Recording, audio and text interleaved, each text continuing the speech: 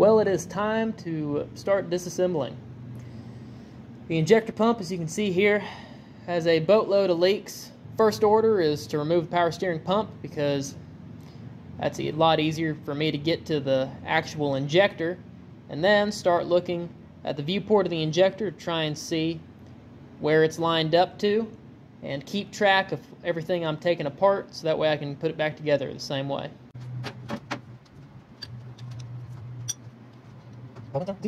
Well, I've finally gotten the power steering pump off. Now I'm going ahead, checking on all the gears a little bit, seeing what all's gone on with them, see if there's any extra wear. But especially, I've now got full access to the injection pump. So I'm going to clean it off because all this is all built up grease, grime, and whatever else flew onto the thing during its lifetime. And then, hopefully, be able to take it off and redo it. Well, I've got that cover plate open, and you can see the two markers. That's your timing. If you put on this injector after you rebuilt it and rotated that assembly just a little bit to where once it meshes in with the actual gear, you'd be out of time and it wouldn't run. So that's a pretty needed measurement right there is to see where the timing is set currently as it sits. Well, I've got everything detached.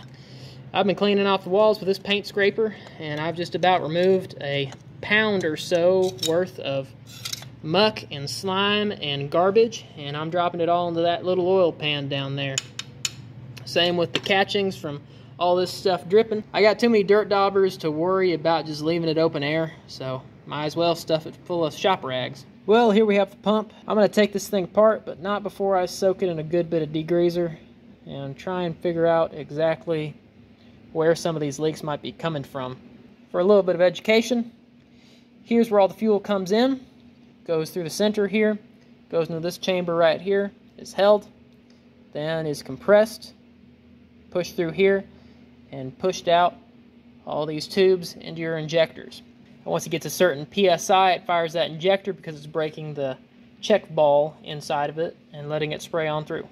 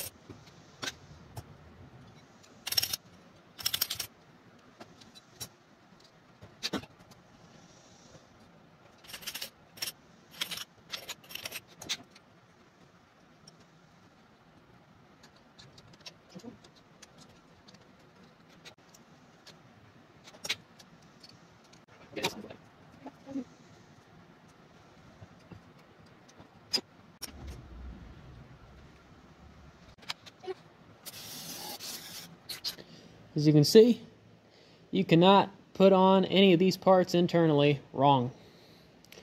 They all have a guide, like right there, to where everything snaps together.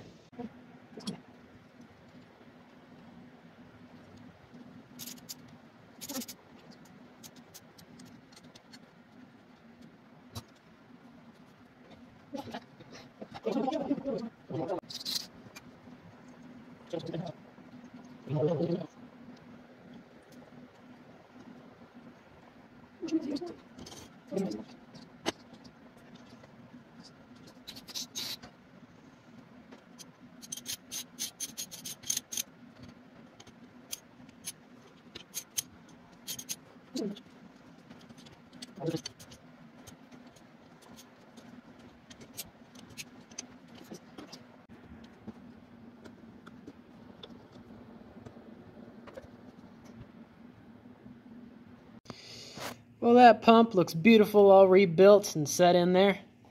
Got a new seal, replaced the inline filter inside of there, hooked up all the lines, redid every single seal I could get to except for the front main. I don't have the right tool for that, and I really don't have the time or the money to spend on getting it and waiting for it to show up. However, everything else has been replaced. I had the bleeder shear off inside of that hole. So I had to remove it, and I found out that a grease zert actually fits in the same place.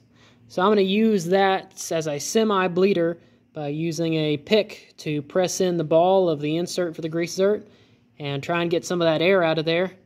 And hopefully it'll work just as well as one of these bleeders right down here will. So after I get that all kind of prepped and ready, I'll put on the power steering pump again, and she'll be ready to see if I can get it to run.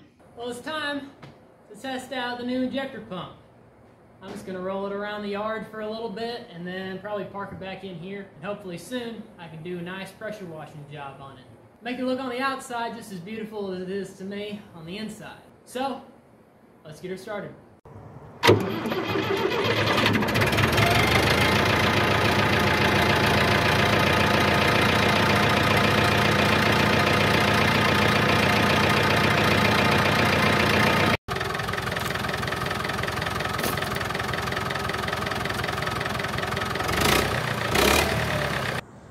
It's been another week. I'm back over with the 990 in its semi-permanent home of this little corridor I cleaned out for it behind my combine shed. And until I can get some more space inside of my actual workshop, this is kind of where it's going to live at. But my seal job is holding strong. Not an ounce of dripping leaks or anything else on my hands. And so now I'm going to test and see if she fires right up. And after that, I'll drive over to my shop again and pressure washer off. But currently, I'm working on 1206 and the dump truck at the same time as I'm working on this. And if you get a little glance in the corner here, there's a couple extra little projects that I want to have coming up pretty soon for y'all. But I'm just going to have to squeeze this in alongside those things. So why don't we have a nice cold start with the old girl and see if she fires to life.